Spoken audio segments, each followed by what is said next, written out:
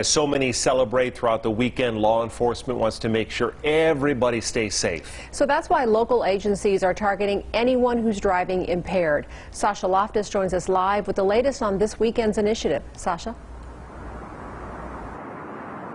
Denise and Brian, 8 News Now spoke with a woman today who lost her husband in what police are calling a DUI crash. Officers say they want to prevent anyone else from experiencing this same kind of unnecessary pain.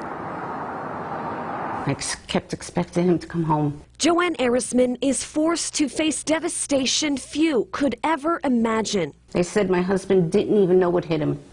He died instantly. Steve, her husband of nearly 20 years, died in a crash right near their home on Tuesday. Police say he was hit by a man speeding and driving under the influence. When people that drink and drive, they say they're not going to do it again, but they do. Joanne says her life will never be the same, and she's one of so many affected here in southern Nevada.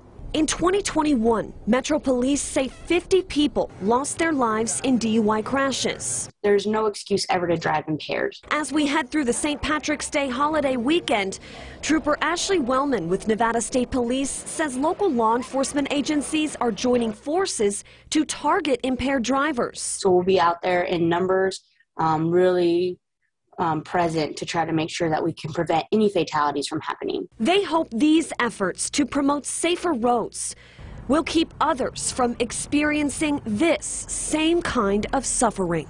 I'm just going to miss my husband for the rest of my life. The Joining Forces initiative targeting impaired drivers continues until this Tuesday, March 22nd.